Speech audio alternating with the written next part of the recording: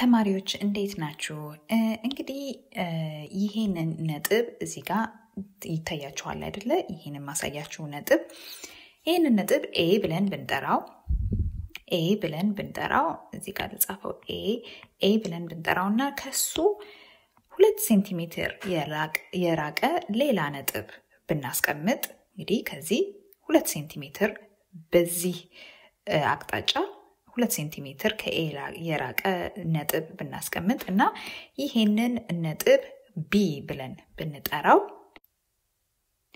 እና እነዚህን ሁለት ነጥቦች በሁለት ሴንቲሜትር የተለያዩትን ነጥቦች ባገናኛቸው AB የተባለው line segment AB line segment ይባላል እና ሁለት ሴንቲሜትር ቢሆን እንግዲህ አሁን AB እንደዚህ ባደርግ ስለ line segment ኡ እያወራው መሆኑን እገልጻለሁ እና እችኛዋን ምልክት እዚች ጋ ያለችዋን ምልክት ሳወጣት ደግሞ ይሄ የዚህ ርቀት ምን ያህል እንደሆነ እዚህ ጋር ስጽፍ ችኛዋን ማስወገድ እችላለሁ። ችኛዋን ትንሽዬ ምልክት ማለት ነው line segment እንደሆነች የምትነግረኝ እና እዚህ ጋር ሁለት ሴንቲሜትር ብዬ መጻፍ እችላለሁ። ሁለት ሳንቲሜትር ሜትር ብዬ መጻፍ እችላለሁ እና እነዚህ የሚለያዩት በሁለት ሴንቲሜትር ነው እና ይህ line segment ይባላል። በነገራችን ላይ line segment ምን ማለት ነው? line segment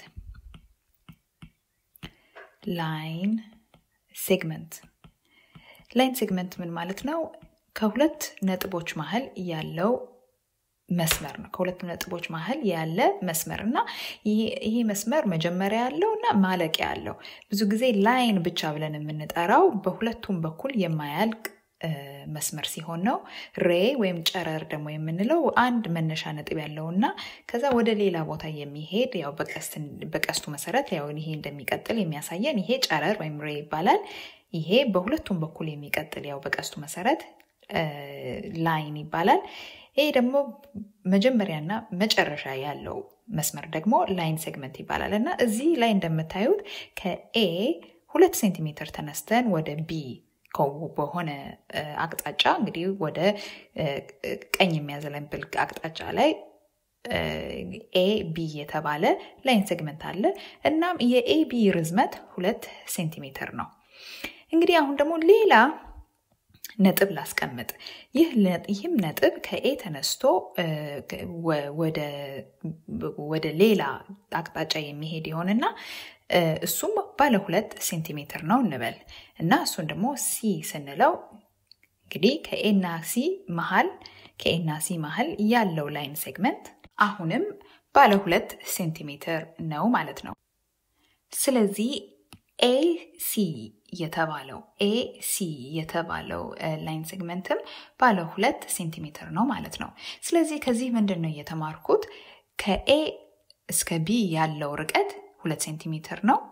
እንደገናም ደግሞ ከ A እስከ C ያለው ርቀት ሁለት ሴንቲሜትር ነው እና እኔ ፍላጎቴ ከ A ተነስተው በተለያየ አቅጣጫ ከ A ተነስተው ለሁለት ሴንቲሜትር ብጓዝ የቱ ጋር እንደምደርስ ነው። አሁን ለምሳሌ ከ A ተነስቼ በቀጥ ያለ መስመር ለሁለት ሴንቲሜትር ያህል ብጓዝ እዚህ ጋር ደርሳለሁ። ከዚህ ተነስቼ ለሁለት ሴንቲሜትር ብጓዝ በዚህ አቅጣጫ እዚህ ጋር ደርሳለሁ እና ሁሉንም ነጥቦች ከ A በሁለት ሴንቲሜትር የሚርቁትን ነጥቦች እዚህ ላይ ብደረድር እንደዚህ አይነት የተለያዩ ነጥቦች ይደረደሩልኛል ማለት ነው። እኔ እንግዲህ ደርድሬ ላልጨርስ እችላለሁ፣ ግን ከ A ሁለት ሴንቲሜትር እየራኩኝ ከ A ሁለት ሴንቲሜትር እየራኩኝ የተለያዩ ነጥቦችን ብስል እና እነዚህን ነጥቦች ባገናኛቸው ማለትም እርስ በራሳቸው ባገናኛቸው ምን ይፈጠራል? እነዚህን ነጥቦች ከ A እኩል ከ A ሁለት ሴንቲሜትር የሚርቁትን ነጥቦች እርስ በራሳቸው ባገናኛቸው ምን ይፈጠራል? የምናውቃት ክብ የሆነች ቅርጽ ትፈጠራለች አይደለ? ይቺ ክብ እንግዲህ ምን ማለት ናት? ከአንድ ነጥብ ተነስተን በተለያዩ አቅጣጫዎች አንድ አይነት ርቀት ሆኖ በተለያዩ አቅጣጫዎች የተቀመጡትን ነጥብ ነጥቦች አንድ ላይ ስናገናኛቸው የምትመጣዋ ቅርጽ ናት ማለት ነው። ነገር ግን ክብ የተባለችዋ ወይም በእንግሊዝኛ ሰርክል ብለን የምንጠራት ቅርጽ በጂኦሜትሪ እንዲህ ተብላ ነው የምትገለጸው። The set of all points that are the same distance from a fixed point ወይም በአማርኛ ክብ ወይም በእንግሊዝኛ ሰርክል ብለን የምንጠራት ቅርጽ ከአንድ ነጥብ አንድ አይነት ርቀት ላይ ያሉት ሁሉም ነጥቦች ማለት ነው። ስለዚህ ከአንድ ነጥብ አንድ አይነት ርቀት ላይ ያሉት ነጥቦች ያው እዚህ ላይ ሁለት ሴንቲሜትር ነው ብለናል። ከዚህ እስከዚህ ሁለት ሴንቲሜትር ከዛም ደግሞ ከዚህ ነጥብ እስከዚህ ነጥብ በአረንጓዴ ላድርገው። ከዚህ ነጥብ እስከዚህ ነጥብ ያለው ሁለት ሴንቲሜትር ሁለት ሴንቲሜትር ሁለት ሴንቲሜትር። እንግዲህ ነጥቦቹ በአይኔ እንኳን ለይቼ የማላቃቸው ናቸው አይደለ? ነገር ግን ሁሉም ነጥቦች ሁሉንም ነጥቦች አንድ ላይ ባደርጋቸው ሁሉንም ነጥቦች አንድ ላይ ባደርጋቸው ይታያቸዋል አይደለ? አንድ ላይ ባደርጋቸው የሚመጡት የሚመጣው ቅርጽ ሰርክል ይባላል ማለት ነው። የነጥቦቹ መገናኘት ብቻ ሳይሆን እነዚህ ነጥቦች አጠገብ ላጠገብ አጠገብ ላጠገብ አጠገብ ላጠገብ ተቀምጠው ተደርድረው የሚመጣው ቅርጽ በጠቅላላ አንድ ላይ ክብ ይባላል ማለት ነው።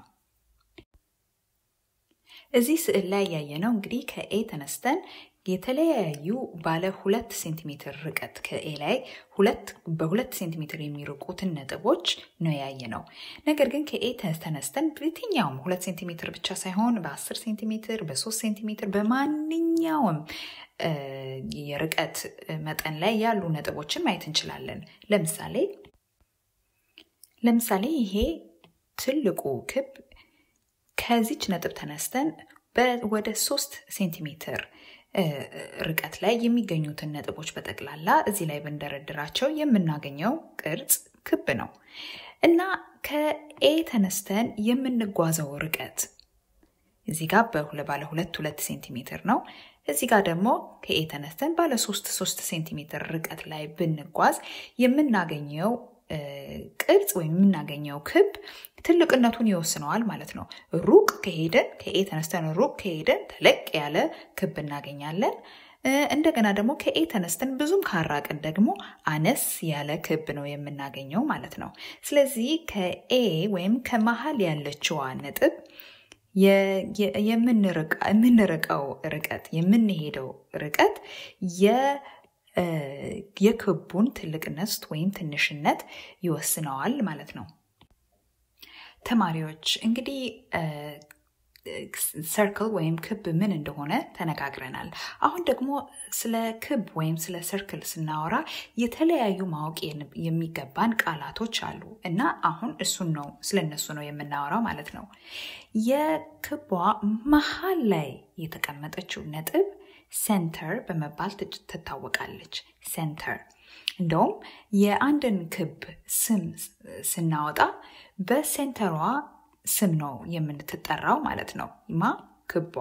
አሁን ይሄ የዚህ ክብ ላይ የዚህ ክብ መሀል ላይ የተቀመጠችዋን ነጥብ A ተብላለች።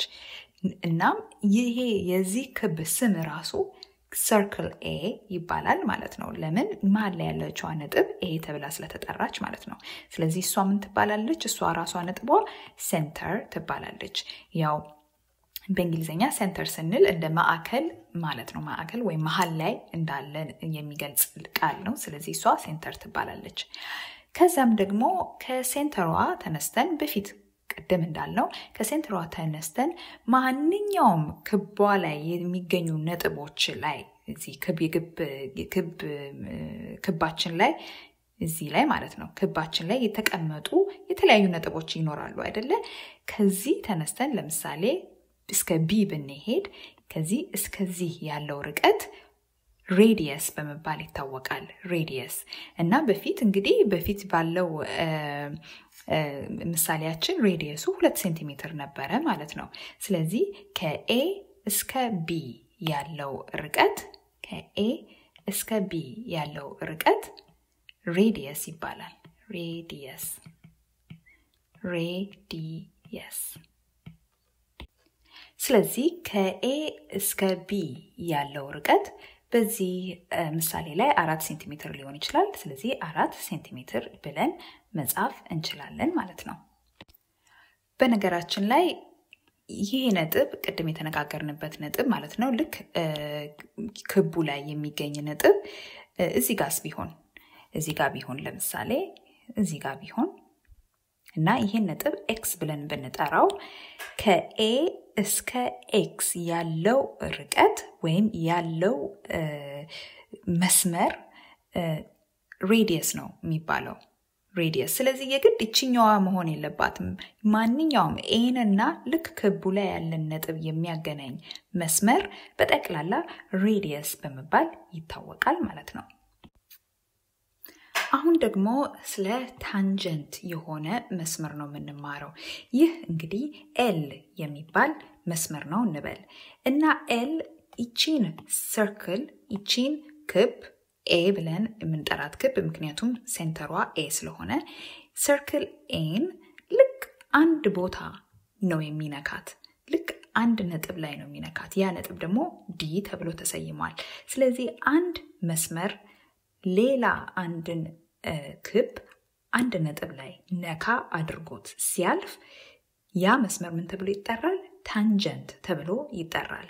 ስለዚህ አሁን በጂኦሜትሪ አባባል line L line L እንግዲህ ስሙ የተሰጠን L ነው ተብሎ ነው ይሄ መስመር line L is tangent to circle A ማለት እንችላለን። ወይም በአማርኛ መስመር L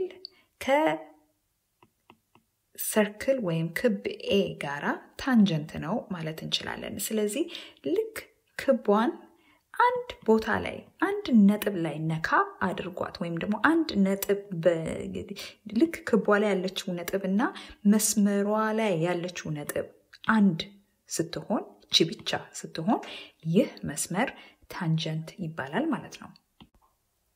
አሁን ደግሞ ሌላ መስመርን እንይ ይህ መስመር secant ይባላል። ለውጡ ምንድን ነው? tangent አንድ ነጥብ ላይ ነው ከ circle ኡ ጋራ የሚገናኘው ወይም ከክቡ ጋራ የሚገናኘው። ነገር ግን secant secant የተባለው ይሄ አረንጓዴው መስመር ከክቡ ጋራ ሁለት ሁለት ነጥቦች ጋር ይገናኛል ማለት ነው። አንዱ ነጥብ ነጥብ F ተብሏል። አንዱ ነጥብ ደግሞ ነጥብ G ተብሏል። ነጥብ F ም ነጥብ G ም ልክ ክቡ ላይ ያሉ ነጥቦች ናቸው። እንደገናም ደግሞ ይህ መስመር ይህ መስመር ሁለቱንም ያቋርጣቸዋል። ስለዚህ አንድ ክብና አንድ መስመር ሁለት ነጥቦች ላይ ሲገናኙ ያ መስመር secant ተብሎ ይጠራል ማለት ነው። ይሄ ግን መስመር መሆኑን ልብ ብላችሁ አያችሁ፣ ወይም line መሆኑን ለምንድን ነው line ያልነው? በሁለቱም አቅጣጫ ይቀጥላል። ለዛም ነው እዚህ ጋር ቀስት የተቀመጠለት ማለት ነው። ይሄም tangent የተባለውም በሁለቱም አቅጣጫ ይቀጥላል። ስለዚህ ይሄ እነዚህ ቀስቶች ምንድን ነው የሚያሳዩን? እነዚህ ቀስቶች ምንድን ነው የሚያሳዩን? ይሄ መስመር እስከ መጨረሻው ከምናስበው በላይ እንደሚቀጥል ነው። ከዚህ የተሳለው ስዕልም በላይ እንደሚቀጥል ነው። ይሄም ሲከንት የተባለው ክቡን ሁለት ቦታ ላይ ሁለት ነጥብ ላይ የሚያቋርጠው መስመር በሁለቱም አቅጣጫ ይጓዛል ማለት ነው። ሌላ ደግሞ የሚያቋርጥ መስመር አለ። ይህ የሚያቋርጥ መስመር ማለት ሁለት ክቡ ላይ የሚገኙትን ነጥቦች ይሄና ይሄ ማለት ነው። ሁለቱን የሚያገናኝ መስመር ነው ማለት line segment ነው ማለት ነው። chord ብለን እንጠራዋለን። ለምሳሌ እዚህ ጋር ያለው ነጥብ እዚህ ጋር ያለው ነጥብ H ቢሆን ይሄ ነጥብ H ቢሆን እና ይሄኛው ነጥብ ደግሞ I ብለን ብንጠራው ይህንን ነጥብ ሁለቱም ነጥቦች ልክ ክቡ ላይ ያሉ ነጥቦች ናቸው እና ሁለቱን ነጥቦችን የሚያገናኝ line segment ሲኖር chord ብለን እንጠራዋለን። አሁን የዚህ የ secant እና chord ምንድን ነው የሚያለያያቸው? secant እየቀጠለ የሚሄድ መስመር ነው። ለምንድን ነው? እነዚህ ቀስቶች ስላሉት ማለት ነው። ነገር ግን እየቀጠለ የማይሄድ መስመር ቢሆንና እነዚህ ይሄ ቀስት እነዚህ ቀስቶች ቢወገዱ እና መስመሩ ደግሞ F ላይ ጀምሮ G ላይ የሚያልቅ ቢሆን ኖሮ ይህ መስመር ራሱ chord ተብሎ ይጠራ ነበር ማለት ነው። ስለዚህ ይሄና ይሄ ብቻ እና እነዚህ ቀስቶች ባይኖሩ ኖሮ እነዚህ መስመሮች ከዚህ ከክቡ የወጣ መስመሮች ባይኖሩ ኖሮ ይሄና ይሄ ሁለት ይሄና ይሄ G ና F ክቡ ላይ ያሉ መስመሮች ናቸው እና ሁለቱን የሚያገናኛቸው መስመር chord ተብሎ ይጠራ ነበር። ነገር ግን እዚህ ላይ secant ብለን የጠራነው ይሄ መስመር ከክቡም ውጭ የሚሄድ እና እየቀጠለ የሚሄድ መስመር ስለሆነ ነው ማለት ነው። ስለዚህ ይሄ line segment ነው። መጀመሪያውና መጨረሻው ነጥቦቹ ይታወቃሉ እና መጀመሪያውም መጨረሻውም ክቡ ላይ የሚገኙ ነጥቦች ናቸው። ስለዚህም ነው chord ብለን የጠራነው። ከዛ ደግሞ secant ደግሞ የምንለው ከክቡ ጋራ በሁለት ነጥቦች አማካኝነት ይገናኛል። ነገር ግን መስመሩ ራሱ ግን እየቀጠለ የሚሄድ መስመር ነው ማለት ነው። በነገራችን ላይ chord እንደተነጋገርነው ሁለት የክቡ ላይ የሚገኙ የክቡ መስመር ላይ እንደነዚህ የክቡ ጠርዝ ላይ ማለት ነው የሚገኙ ነጥቦችን የሚያገናኝ መስመር ነው አይደለ? መጀመሪያውም መጨረሻውም ይታወቃል። ነገር ግን ልክ ሁሌም እዚህ ጋር ጥግ መሆን የለበትም። ሁለቱ ነጥቦች የሚገናኙት ነጥቦች ልክ ከሴንተሩ ወይም መሀል ላይ ያለው ነጥብ ከሴንተሩ መሀል አልፈው የሚያልፉ ሊሆኑ ይችላሉ። አሁን center ኡ እዚህ ጋ ነው ብለናል። center ኡ እዚህ ጋ ነው ብለናል እና ከ center ኡ እዚህ ጋ ከሆነ ይህ chord ይህንን ከዚህ ጀምሮ በ center ኡ በኩል ያልፍና በዚህ በኩል ያልቃል እና chord ብለን አንጠራውም። እንደዛ ሲሆን chord ነው ግን የክቡን ሁለት ነጥቦች ስለሚያገናኝ chord ብለን እንጠራዋለን። ግን ሌላ የተለየ ስምም አለው። ይህ ስም ምን ይባላል? ልክ እነዚህ ሁለቱ ነጥቦች በመሃሉ በኩል አልፈው ሲሄዱ ይህ line segment እንትን ተብሎ ይጠራል፣ diameter ይባላል። እንግዲህ ይሄ J K ብየዋለው። J K J K የተባለው diameter ተብሎ ይጠራል። diameter diameter እና ለውጡ ምንድን ነው? ሁለት ነጥቦችን ነው የሚያገናኘው ክቡ ላይ። ነገር ግን በ center ኧ ላይ ወይም የክቡ መሀል ነጥብ ላይ ያልፋል ማለት ነው። ቅድም ስንነጋገር ከ A ተነስተው ከ A ተነስተው እንግዲህ A እዚህ ጋር ነው ብለናል። ከ A ተነስቶ ከ A ተነስቶ የማንኛውም ክቡ ላይ የሚገኝ ነጥብ ጋራ የሚያገናኘው መስመር radius እንደምንለው ተነጋግረን ነበረ። ስለዚህ አንድ radius ያው ከ A እስከ B ሊሆን ይችላል፣ ወይም ደግሞ ከ A እስከ H ማለት M ሊሆን ይችላል። የራሴ አጻጻፍ እኮ ነው ያሳሳተኝ። M ማለቴ ነው። M እንደሆነ በደንብ አድርጌ ልጽፋፍበት M ከ A እስከ B ብቻ ሳይሆን ይህ radius መሆን የሚችለው ከ A እስከ M መሆን ይችላል። ለምን? ርቀቱ ከ A እስከ B እና ከ A እስከ M ያለው ርቀት እኩል ነው። እና ያው እቺ M የምትለው ክቧ ላይ ያለች መስመር ናት። እና ይሄ እንግዲህ diameter ነው ተባብለን አልነበረ? ልክ በክቡ መሀል የምታልፈው? ከ radius ኡንም ተነስተን አላደለ radius ያልነውንም ከዚህ እስከዚህ ብቻ ሳይሆን ከዚህ እስከዚህ ያለውንም ብንቀጥል እና M እና B ቢገናኙ ይሄም diameter ነው እና እንደምታዩት አንድ diameter radius ኡን በሁለት ሲባዛ ነው ማለት ነው። እንግዲህ ይሄ ከዚህ ከ M እስከ B ያለው radius ማለት ከ M እስከ B ያለው segment line segment diameter ነው። ስለዚህ diameter ኡ ከ M እስከ B ያለው diameter ይሄ diameter ነው diameter ነው። እሱ ብቻ ሳይሆን ግን ምንድነው እዚህ ስዕል ላይ የተገነዘብነው radius ኡ በሁለት ሲባዛ ወይም ደግሞ የ radius ኡ እጥፍ ነው ማለት ነው። ይሄ diameter ከዚህ እስከዚህ ያለው radius ነው። ከዚህ እስከዚህ ያለው radius ነው። ያው እዚህ ጋር radius ልበልበት፣ radius ነው። ሁለቱም ከዚህ እስከዚህ radius ናቸው። ከዚህ እስከዚህ radius ናቸው። ግን አንድ ላይ ሲሆኑ diameter ይባላሉ ማለት ነው። ስለዚህ diameter ማለት diameter ማለት radius ሁለቴ ተባዝቶ ማለት ነው። በ radius ሁለት የተባዝቶ ነው ማለት ነው። diameter ማለት radius ሲባዛ በሁለት ማለት ነው። ተማሪዎች አሁን ደግሞ ልክ እዚህ ላይ ያለውን የክቡ ክፍል ላይ ያለውን ይህንን መስመር ተከትለን ብንሄድ መስመር አይባልም አይደለ? ይህንን የክቡን አካል ብናይ ይሄ arc ይባላል። አያችሁ፣ arc ይባላል። J ና X ክቧ ላይ የሚገናኙባት ቺ የክቧ ክፍል ማለት ነው እና እሷ arc ተብላ ትጠራለች። እና አሁን የዚህን ልክ የክፍል የክቧን ይችኛዋን ክፍል ብቻ ብናይ arc J X ብለናት እንጠራታለን ማለት ነው። አያችሁ እዚህ ጋር እንደ ክብ እንደዚህ የሚያቃጣው ስዕልን እንስላለን። ያ እንግዲህ J X ልክ J እና X የሚገናኙባት የክቧ አካል መሆኑን እናሳስባለን ማለት ነው። ስለዚህ እቺ እቺኛዋ የክቧ አካል አርክ ተብላ ትጠራለች ማለት ነው። አሁን ደግሞ ይህ ክብ በጠቅላላ ከዚህ ተነስተን እንደዚህ ብንጓዝ ይህንን ሁሉ ርቀት እንደዚህ ዙሪያውን ዙሪያውን እቺን ክቧን ተከትለን ብንጓዝ የምንጓዘው የመንገድ መጠን ሰርከምፍረንስ ተብሎ ይጠራል ማለት ነው። circumference ቦታ ልፍጠር። circumference ብለን እንጠራዋለን ማለት ነው። circumference circumference circumference ምንድን ነው?